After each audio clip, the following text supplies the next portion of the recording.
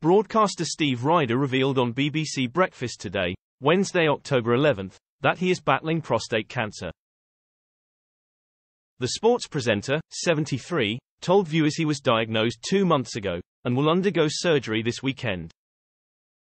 Former grandstand host and ITV football anchor Steve also shared how he was moved to go for a checkup after fellow TV presenter Nick Owen opened up about undergoing a prostatectomy, and a neighbor also received a cancer diagnosis. BBC Breakfast Today Steve said during his live telly appearance this morning, I'm a great convert to the work of Prostate Cancer UK because on Saturday I need quite an urgent operation. The whole process from getting myself checked, to diagnosis, to operation has taken about two months. I consider myself to be extremely lucky.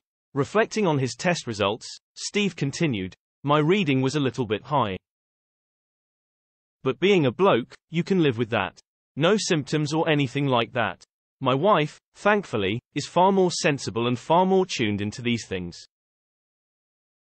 So we went off and into the examination procedure and into the x-rays and so on, and the biopsy as well.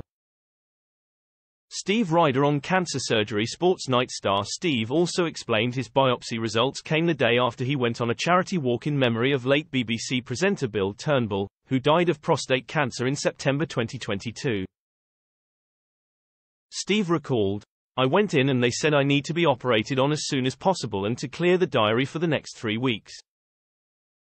It is all contained within the prostate, so it gives us the opportunity to have significant surgery and cure the whole thing that way.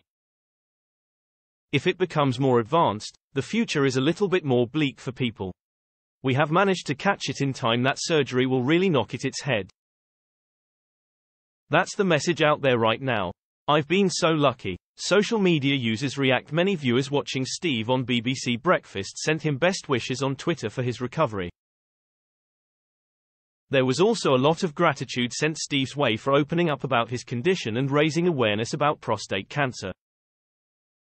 Sending the very best of wishes to Steve Rider and to all men currently going through the prostate cancer journey, one person tweeted. Another Twitter user posted, Thank you Steve for getting the message out. And a third echoed that remark, writing, Thank you talking about silent killer. The more we get men checked better, even if no signs. So get checked, men.